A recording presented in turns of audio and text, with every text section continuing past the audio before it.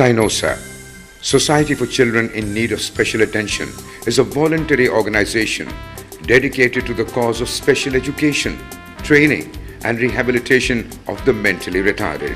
SCINOSA Day Home is the organization's foremost project, working since 1962 and housed in its own building on two acres in North Nazimabad, Karachi. Over the years, SCINOSA has emerged as a model center for special children. Its most recent landmark achievement has come with the completion of the center's new splendid building constructed over an area of 24,000 square feet. The new building and its facilities have incurred an approximate cost of 25 million rupees, all generously provided by individual and institutional donors. With its 16 well-appointed classrooms, SCINOSA can now accommodate up to 160 children in the new building. An extremely important facility added here is the heated hydrotherapy pool. For vocational training, new facilities have specially been provided for soft vocations such as tailoring and weaving that suit special children better.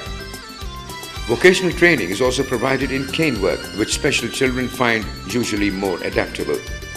The new building features an expanded computer section where children with moderate or less severe retardation learn to use the computer. Among upgraded facilities is also a very large dining room where 60 children can eat in one sitting. A befitting complement to this new development is the beautiful lawn with a vegetable garden where children love to try out their green thumbs. It is especially touching to witness the speech therapist working with children who find it an ordeal to utter the easiest of words.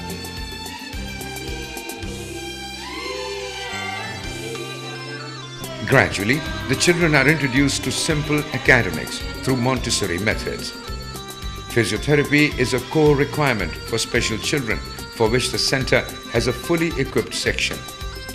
The credit for the institution's all-round success mainly goes to its professional and dedicated faculty.